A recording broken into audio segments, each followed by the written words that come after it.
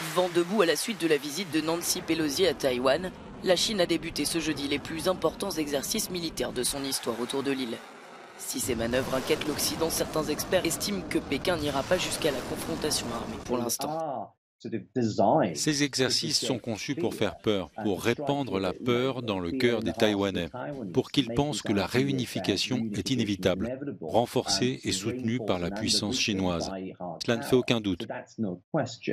Cependant, uh, ce n'est pas nécessairement une étape qui annonce une invasion. Ce sera le cas si ces manœuvres durent plus longtemps.